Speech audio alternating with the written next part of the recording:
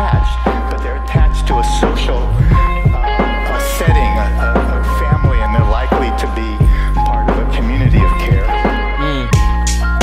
Nobody is an island. Yeah, we are part of an environment. It takes a whole school and community for a child to feel hope and surviving it. Whole staff, social workers, teacher, and the principal to give you all the knowledge. So in life, you're invincible. Mm-hmm. Feel good, do good. Process is visible. Health is wealth through fitness, strength, and physical. In addition to school, work with the community. Stronger together through the unity. That's how we fight against the virus like immunity. Yes, it takes a village. Make a child which is whole. Health and education, ingredients to grow. Proper medicine for the mind, the body, and the soul. Habits, we need to let them go. Whole school, whole community, whole child, that's the goal.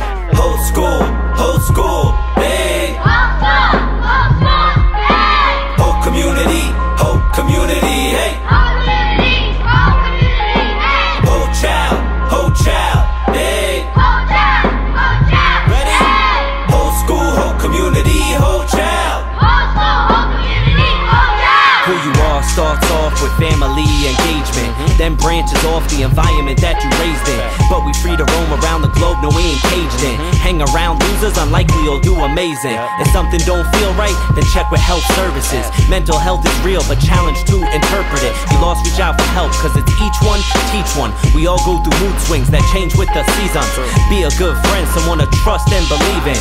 Give a helping hand when you see somebody grieving. Rocking at the school for the boys and the girls. Takes a village, raise a child who will one day change the world. Whole school,